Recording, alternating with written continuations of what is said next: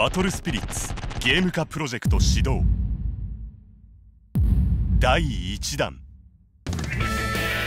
あのバトスピがプレイステーションポータブルで初のゲーム化。カードとアクションが融合。これがバトスピバトルだ。ド迫力のスピリットたちも続々登場。君の手の中でスピリットが暴れ出す。さまざまなスピリットを召喚しバトルを盛り上げろ。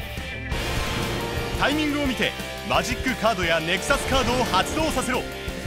より戦略的直感的なアクションカードバトルが体感できる。ゲームオリジナル主人公に加え馬神たちも参戦。アニメ新主人公ダンも登場だ。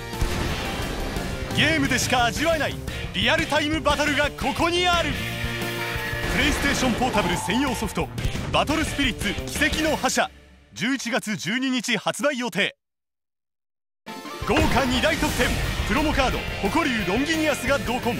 さらに早期購入者特典で44枚のカードとコアが封入されたオリジナルスターターキットがもらえる。